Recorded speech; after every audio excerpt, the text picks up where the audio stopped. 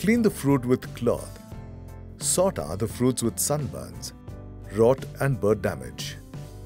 Expert workers grade the fruits manually by experience. Grading of the pomegranate fruit is done according to the requirement of the target market and the country of export. Size or weight of the fruit, color, insect and disease spots, scratches on the skin etc. are the criteria for grading. Here, we give one model grading. Super size, 750 grams and above weight. Very big size, deep red color and no scars on the skin.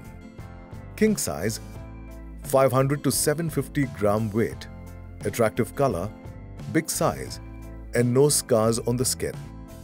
Queen size, 400 to 500 gram weight, attractive color and no scars on the skin. Prince, 300 to 400 gram weight and without any damage to the skin. 12A, fruits with 200 to 300 gram weight and one or two scars on the skin.